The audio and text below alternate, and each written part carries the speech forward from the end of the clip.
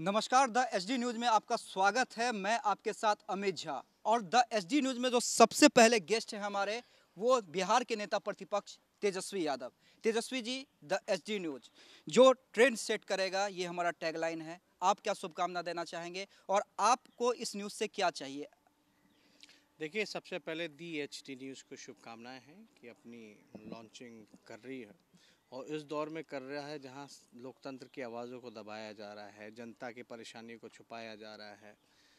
और इस दौर में अगर ये शुरुआत है तो मेरी पूरी शुभकामना है कि ईमानदारी से निष्पक्ष होकर के जो है जनता की आवाज़ को उठाएँ परेशानी को उठाएँ और जो चौथे खंबे का जो जिम्मेवारी है, उसको बखूबी निभाने का काम। तेजस्वी जी, एक दो सवाल हो जाए, चूँकि हमने चैनल को लॉन्च कर दिया है और आप हमारे साथ हैं। मैं आपका भाषण सुन रहा था जिसमें आज आप कह रहे थे अपने कार्यकर्ताओं से कि जो चाटुकारता करेगा जो अगल बगल रहेगा किसी का भी फ़ोन आए किसी का भी दबाव आए मैं नहीं सुनूँगा मैं टिकट नहीं दूँगा। और जो पार्टी के लिए काम करेगा मैं उसे टिकट दूँगा मैं उचित उच, उचित सम्मान दूँगा ये मेरी जिम्मेवारी है। यानी अब ये माना जाए कि आरजेडी में पूरी तरह लोकसभा चुनाव के बाद तेजस्वी यादव डिसीज़न लेने जा रहे हैं। देखिए पूरी तरीके से नहीं, पार्टी ने जो ज़िम्मेदारी सौंपी है, हम उसको अच्छे से ईमानदारी पूर्वक निभाना चाहते हैं। और ज़ाहिर सी बात है, जो पार्टी के लिए जो मेहनत करता है, ईमानदारी से दिन रात लगा करके पार्टी की विचारधारा को फैलाने का काम करता है, लाठी डंडे खाता है, झंडा धोता है, वैसे लोगों को जो है सम्मान मिलना चाहिए। तो यही कवायद है।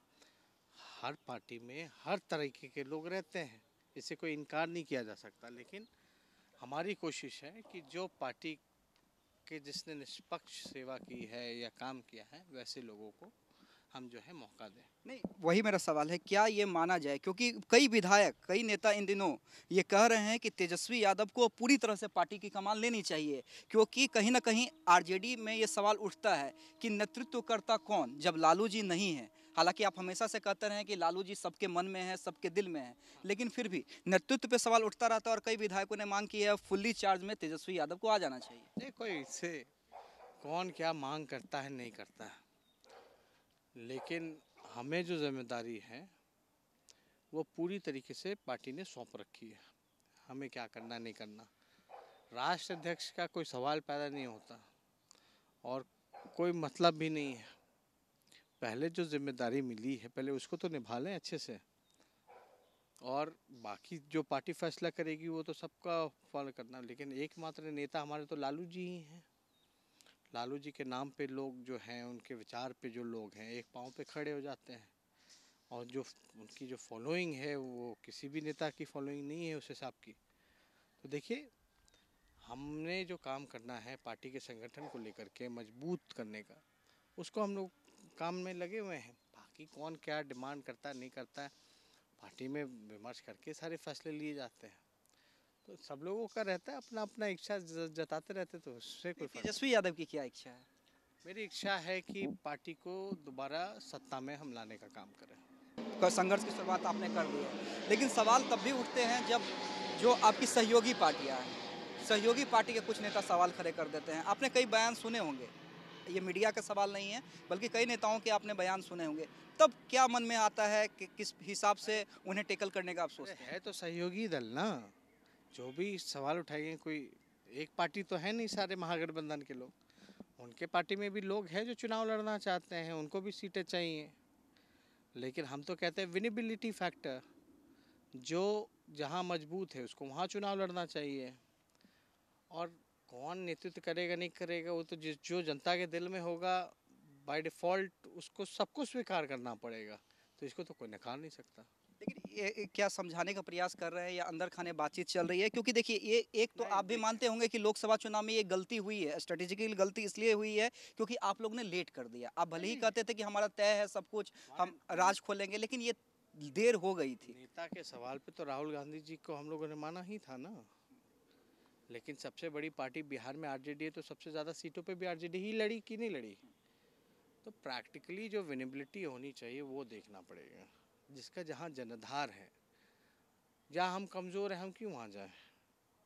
जो वहाँ मज़बूत है, वो वहाँ लड़ना चाहिए चुनाव। तो ये सारी चीज़ें देखिए पॉलिटिकल है, ठीक है, चलता रहता है इसमें। बहुत तरह का तड़का लगाते हैं लोग, मिर्च मसाला लगाते हैं, वो ठीक नहीं है। असली तो दिलचस्प बात है कि भाई किस प्रकार से एनडीए से ये लोग टूट करके आए यहाँ एक कम से कम गठबंधन में शामिल तो हुए लोग महागठबंधन में। ठीक है नया नया महागठबंधन था। धीरे धीरे ना आदमी कोऑर्डिनेशन जो होता है मज़बूत होता है तालमेल। अच्छा आपको लगता है वाकई कि जो एनडीए में खिस्तान चल रही है उसका फ़ायदा आरजेडी या महागठबंधन उठा सकती है? देखिए भैया हमको अपना काम करना है। दूसरे के घर में क्या चल रहा है, हमको इस पर ध्यान नहीं देना। वो रहें, ना रहें, किसी को चेहरा बनाएँ या ना बनाएँ, इससे आरजेडी या हमको कोई फ़र्क पड़ने वाला है नहीं। हमें जो ज़िम्मेदारी है, हमारा जो काम है, उस काम को हम लोगों को बखूबी देना जनता के समस्याओं को दिखा, उठाना है, नौजवानों को समस्याओं को उठाना है, उनका समाधान करना है, उनके लिए लड़ाई लड़नी है, सामाजिक न्याय, धर्मनिरपेक्षता, ये जो हमारी बुनियाद है, इस पर हम लोग काम करेंगे। वो क्या कर रहे हैं नहीं कर रहे वो जाने। नहीं क्योंकि कभी कभी ऐसा भी होता है कि रघुवंश प्रसाद सिंह आप स्ट्रेटेजी बना रहे हैं और इधर रघुवंश प्रसाद सिंह का बयान आ जाता है कि नीतीश जी हमारे साथ आ सकते हैं। कुछ लोग जो है समझने में जो है भूल कर देते हैं रघुवंश जी का बोलने का ये मतलब नहीं। और नीतीश जी की जहाँ तक बात है जिसने जनादेश का अपमान किया हमारी बात छोड़िए हमारे पार्टी में ऊपर से लेकर के नीचे लोग बड़े गुस्से में हैं। उनका नाम सुन के ही गुस्से में रहते हैं। हमारे जो लोग हैं कोई सवाल ही नहीं पैदा होता उनके नाम पे। अच्छा बस एक दो सवाल तेजस्वी जी आपसे। पहला सवाल ये कि क्या महागठबंधन में अब तक जितनी पार्टियाँ लोकसभा चुनाव लड़ी वो रहेंगी या किसी और की नई एंट्री होंगी या जो छोड़ के जाना चाहते हैं महागठबंधन जा सकते हैं? तेजस्वी यादव क्या चाहते हैं महागठबंधन का स्वरूप? ऐसा कोई बात होगा तो आपको खबर किया जाएगा। लेकिन जब आपका इशारा सब में है तो तो नीतीश जी सब में तो है नहीं। बाकायदा वो तो है एनडीए में है अभी। 370 का उन्होंने विरोध किया। मतलब और उन्होंने जो ट्रिपल तलाक है, उसका समर्थन किया 370 का समर्थन किया। किया कि नहीं किया? तो वो तो जो, जहाँ हैं उनको मुबारक हो, जहाँ हैं, जहाँ रहे, ना रहे। लेकिन और कोई अगर दल है उनके अलावा तो विचार किया जा सकता है। लेकिन नीतीश कुमार जी के सवाल पर, जिसने चार साल में चार सरकारें देने का काम किया हो, बीजेपी को भी धोखा दिया, हमको भी धोखा दिया और जिसका कोई जनाधार नहीं नारा तो है सच्चा है अच्छा है। नारा तो ठीक है तो है। वो तो बाद में बदला गया ना। ठीक है तो है मतलब खुद कॉन्फिडेंस नहीं है। तो इस पे देखिए नारे से नहीं होता है एक्शन क्या है? उनके एक्शन को देखिए। क्या बिहार में सुशासन है? डीजीपी कहता है हमको कोई गोली मार के चला जाएगा। तो ज़्यादा कुछ हमको नहीं कहना। चलिए तेजस्वी यादव थे हमारे साथ। पहला इंटरव्यू तेजस्वी यादव का। इसके बाद भी हम तमाम नेताओं से बात करेंगे। बिहार के, झारखंड के जितने दिग्गज नेता हैं, उनसे हमारी बातचीत जारी रहेगी और ये समझने का हम प्रयास करेंगे कि आखिर देश बिहार झारखंड की पॉलिटिक्स कहाँ जा रही है।